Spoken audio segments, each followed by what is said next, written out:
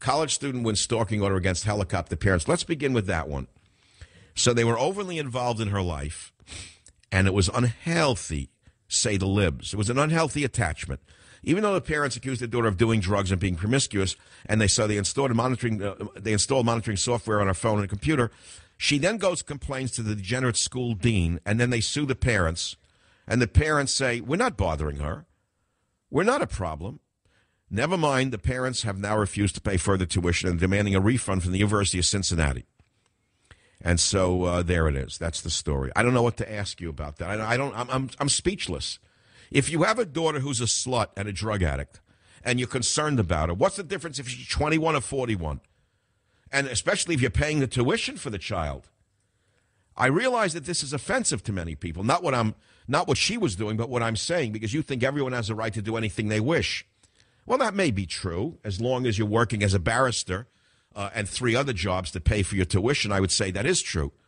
But if your poor fat parents from Kansas are worried about you and paying 60 grand a year so you can stutter, st- uh, stutter your way through a thespian school and learn to be a thespian, I think that they have a right to, uh, to ask you what to do.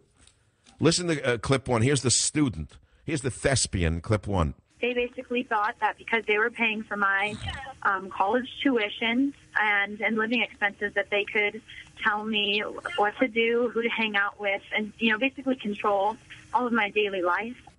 No, no. Well, the college, the college dean, whoever she was, told you that your evil parents had no right to control you. After all, you're a college student now. You're a young woman. And as you well know, the deans all love as many young women as they can get into their into their clavens.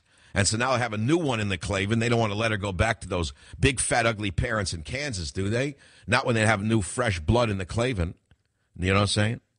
You see how I see the world? It's too bad if you don't see it my way because it's my show. If you don't like it, get your own show and then tell me how you like to see the world. Your world is upside down. My world is correct. The world I see is the correct world. The world you see is a warped, disgusting, warped, crazy, sick, anti American, anti family, anti church, anti military, anti police, anti family world. It's not my world.